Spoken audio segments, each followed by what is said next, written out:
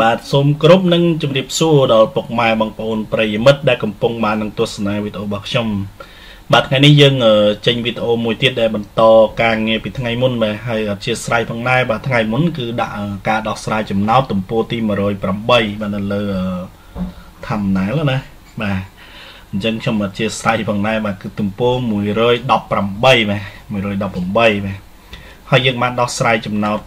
លេខ5លេខ6រួចហើយបាទលេខ5លេខ1លេខ7បាទអញ្ចឹងថ្ងៃនេះយើងបន្តទៅចំណោទទី8និងទី9ជាបន្តទៀតបាទដែលនៅក្នុងទំព័រទី118ដដែលបាទសម្រាប់ Super គណិតជាថ្នាក់ទី6បាទបាទសូមទានជ្រាបបាទច្បាស់គឺសម្រាប់ Super គណិតជាថ្នាក់ទី6បាទទំព័រទី118អញ្ចឹងឥឡូវយើងបន្តចូលទៅ ប្រធានចំណោទលេខ8បាទ នៅក្នុងចំណោទលេខ8នេះគឺវាតកតងទៅនឹងការបងរំលោះបាទនៅក្នុងមេរៀនការប្រាក់បាទការប្រាក់គឺមានរូបមន្តរបស់ការប្រាក់និងរូបមន្តរបស់បងរំលោះបាទដែលពុកម៉ែបងប្អូនប្រិយមិត្តមួយចំនួនបាទគាត់នៅមានការភ័ន្តច្រឡំបាទហើយខ្ញុំឆ្លៀតពេលនេះខ្ញុំសូមរំលឹកបន្តិចផងដែរបាទតកតងទៅនឹងរូបមន្តការប្រាក់សម្រាប់សិភើគណិតជាដែលបោះពុំនៅក្រសួងអប់រំយុវជននិងកីឡា បាទដែលគេប្រើប្រាស់នៅថ្នាក់ទី6គឺរយៈពេលក្នុងការគណនារបស់ការប្រាក់គឺគិតទៅជាឆ្នាំដាច់ខាតអត់មានគិតជាខែទេបាទហើយបើសិនក្នុងប្រធានចំណោទលំហាត់ប្រាក់មកជាខែគឺទៅបដូរទៅជាឆ្នាំទៅគណនាត្រូវតាមរូបមន្តហ្នឹងបាទហើយសុំពុកម៉ែបងប្អូនប្រិមិត្តបាទមេត្តាអធិស្ឋានផងដែរបាទសុំកុំធ្វើការប្រៀបធៀបទៅតាមរូបមន្ត ដែលគេគណនានៅតាមសាកលវិទ្យាល័យគេគណនាតាមឯកទេសជំនាញបាទគេគណនាតាមធនាគារតាមអីហ្នឹងបាទពីព្រោះនោះគឺជារឿងមួយផ្សេងពីគ្នាណាអានេះគឺយើងសិក្សាយោងតាមសភឹកគោលដែលបានចេញដោយក្រសួងអប់រំយុវជនកីឡាហើយសម្រាប់ថ្នាក់ទី6ទៀតបាទខ្ញុំបញ្ជាក់ច្បាស់អញ្ចឹងហើយតាបាទហើយនៅក្នុងការបងរំលោះគឺរយៈពេលត្រូវបដូរទៅជាខែវិញ ទោះបីរយៈពេលក្នុងចំណោទលំហាត់ចេញមកជាឆ្នាំចេញក៏ដោយគឺយើងត្រូវបដូរទៅខែក្នុងការកណនារូបមន្តហ្នឹងបាទអរគុណកុំឲ្យខាត់ពេលវេលាហើយបើមិនច្បាស់យ៉ាងណានោះសូមទស្សនាវីដេអូនឹងទាំងអស់គ្នាទៅបាទអាចជាយល់ច្បាស់ជាងនឹងតិចហើយព្រោះយើងរងថ្ងៃក៏យើងកំពុងគិតចឹងដែរបាទបាទខ្លឹមសារប្រធានចំណត់លេខ8មានដូចតទៅបាទគេទិញផ្ទះមួយតម្លៃ45000ដុល្លារដោយបង់ឲ្យមុន40% ប្រាក់នៅសល់គាត់បង់រំលោះរយៈពេល5ឆ្នាំ ដោយបង់1200ដុល្លារក្នុងមួយខែបាទនេះណាគឺតកតងជីវភាពរនៅហ្នឹងបាទ45000ដុល្លារបង់ឲ្យមុន40%ហើយតម្លៃផ្ទះនៅសល់60%ទៀតគឺគាត់រំលោះបាទនៅសល់ប្រហែលគាត់រំលោះរយៈពេល5ឆ្នាំដោយបង់មួយខែ1200ដុល្លារបាទ បាទសំណួរករកចំនួនប្រាក់ដែលគាត់បង់ឲ្យគេមុនបាទបើនេះចំនួនប្រាក់ដែលបង់ឲ្យមុន40%ហ្នឹងវាត្រូវជាប្រមាណណា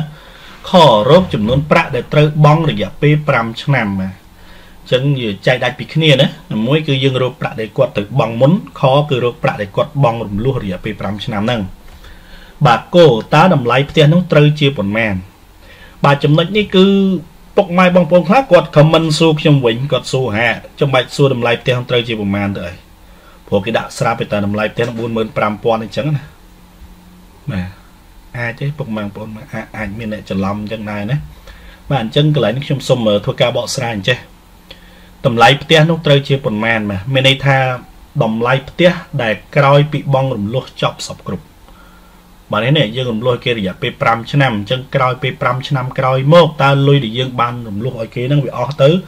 អាហ្នឹងហើយគឺតម្លៃយើងបានទិញផ្ទះមកនោះវាដាច់ទៅអស់ប្រហែលសរុបទាំងអស់បាទវាមិនមែនជា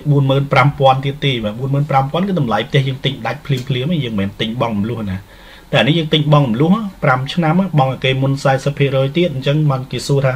ចុងក្រោយតម្រាំយើងរំលោះអីចប់សពគ្រប់ទៅតើតម្លៃផ្ទះត្រូវជាប្រមាណបាទ គឺតម្លៃផ្ទះក្រោយពេលរំលោះរួចអរគុណមែនឥឡូវសូមយើងមើលមករបៀបនៃការដោះស្រាយទាំងអស់គ្នា បាទទី1គឺយើងរកប្រាក់បង់ឲ្យគេ40%បាទអញ្ចឹង40%នេះតម្លៃផ្ទះអញ្ចឹងនេះយើងយក45000ដុល្លារ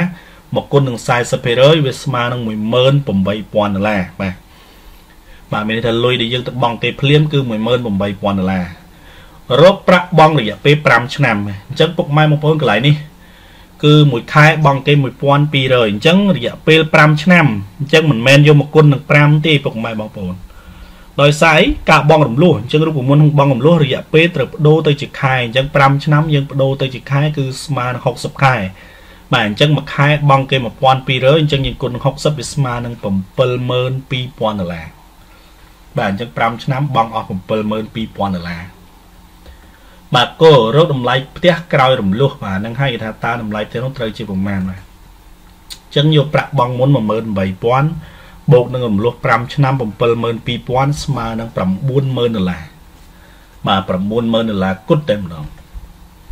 បាទចម្លើយកប្រាក់បង់មុន18000ដុល្លារខប្រាក់បង់5ឆ្នាំ72000ដុល្លារគោតម្លៃផ្ទះក្រោយរំលោះ90000ដុល្លារអញ្ចឹងពាក់កណ្ដាល បាទអស់ការប្រាក់ពាក់កណ្ដាលមិនធម្មតាណាបាទនេះគឺរំលោះ5ឆ្នាំ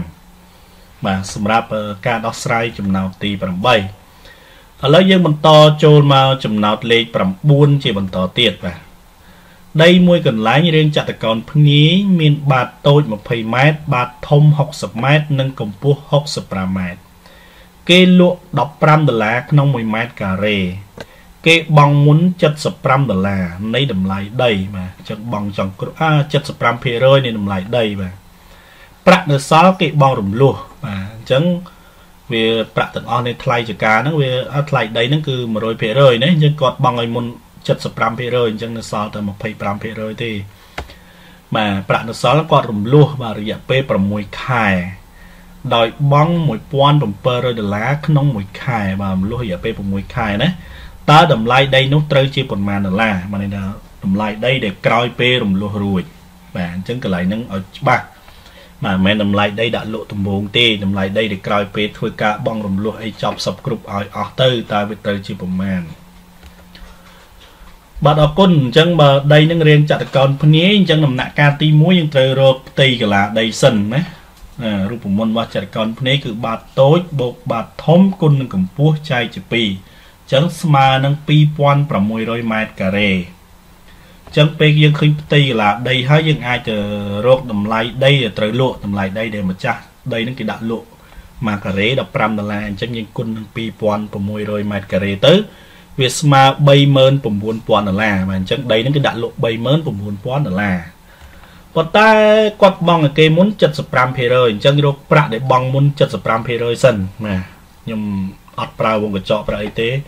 គឺចង់ឲ្យពុកម៉ែបងប្អូនប្រិយមិត្តបងប្អូនសិស្សសិនសិស្សបាទងាយងាយបាទបាទបើសិនពុកម៉ែបងប្អូនណាគេប្រើវងកញ្ចក់តែមកខ្វាច់ពីគ្នាប្របាំងណាមិនបន្តិចរួចបាទអត់បញ្ហាទេបើសិនតែយើងចេះច្បាស់ចឹងហើយគឺល្អហើយប៉ុន្តែនេះសម្រាប់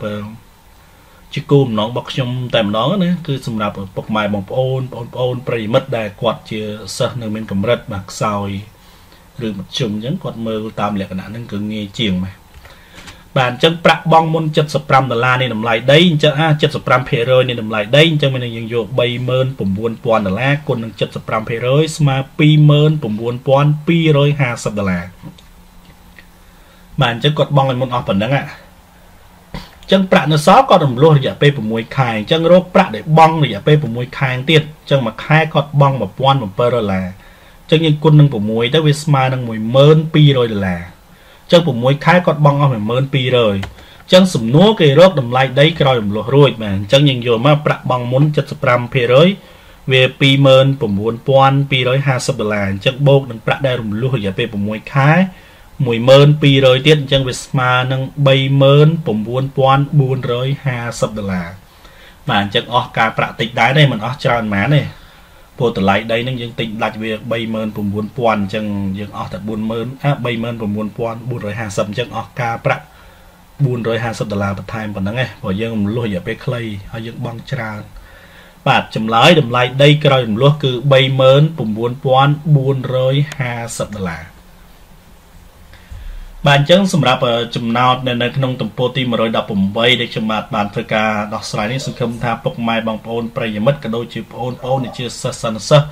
បាទពិតជាអាចយល់ជ្រុលជ្រាបនិងទទួលយកបានបាទហើយបើសិនជាមាន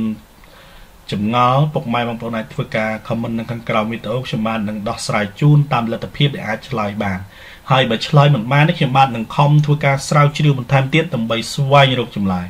បាទអរគុណសម្រាប់ការទស្សនាកុំភ្លេចជួយចុច Subscribe និងចុចរូបកណ្ដឹងផងដើម្បីទទួលបានវីដេអូថ្មីៗជារៀងរាល់ថ្ងៃ